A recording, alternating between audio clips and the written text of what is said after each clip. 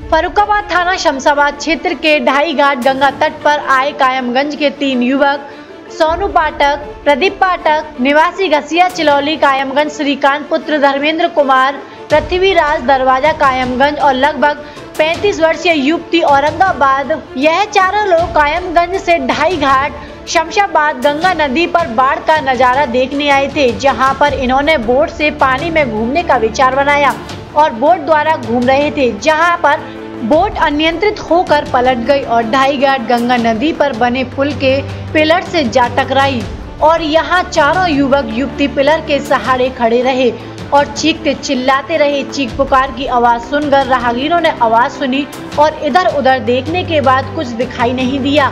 तो पुल के नीचे जाकर देखा कि चार लोग मदद की गुहार लगा रहे थे। राहगीरों ने तत्काल प्रभारी निरीक्षक आर के रावत को बोट पलटने और चार लोगों के गंगा नदी के बीच धारा में फंसे होने की फ़ोन से सूचना देकर अवगत कराया।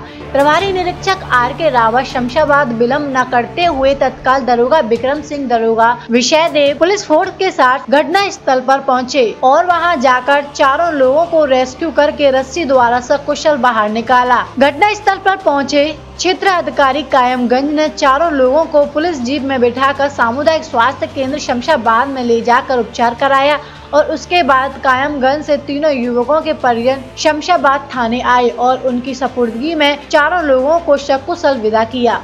गंगा जी में जो नाव पलटी है इसके प्रकरण में बता दीजिए पुलिस का सराहनीय काम जो पुलिस ने अपनी जान पर खेल कर बचाया है इन लोगों को। ये सूचना मिली कि ये जो लोग जो है स्टीमर में नाव बैठे थे बैठे हुए थे पुल नाव पलट गई। और पुल के नीचे खंभे में फंसे हुए हैं और उससे थोड़ी थोड़ी सर ऊपर दिखाई दे रहा था मात्र सूचना मिलने पर तुरंत जो है यहाँ सब पुलिस का जो है ये सो मैं खुद से लोग पहुँचे जाके वहाँ से रस्सा और गोता बना के पब्लिक से जो है बचाया गया निकाला गया अच्छे और उनको मेडिकल इसमें सी एच सी में जो है चेकअप कराने के बाद जो है वो छोड़ा गया पूर्ण रूप से चारों लोग स्वस्थ हैं। जी ये कहाँ के बंदे थे जी चारों? ये काम है धन्यवाद। नाम शानू अग्निहोत्री। अग्निहोत्री जी। पिताजी का नाम? श्री देवेंद्र कुमार अग्निहोत्री कहाँ रहते हैं आप? घसे चलौली इंजन क्या अभी आप बोट से आए थे? क्या समय तो एक्चुअली हुआ ये था कि हम लोग जब बोट से आ रहे थे तो उस समय जब बोट चालू हुई चालू होने के बाद वो एक पिलर से जाके टकराई। जहाँ गंगा जी की मेन धार थी वहाँ जाके पिलर से टकराई और पिलर जाने के बाद वो एकदम से उलट गई।